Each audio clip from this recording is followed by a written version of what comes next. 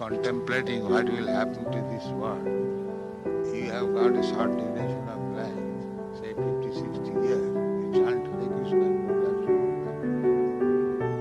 Don't consider what will happen to this world. Nature will take care. You don't puzzle your brain with these thoughts. You utilize whatever time you have got in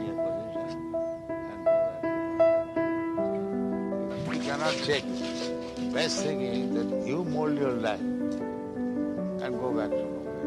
Oil is your own machine. Instead of thinking what will happen, they will happen because people will go on with their rascal civilization. Natural consequences will be there.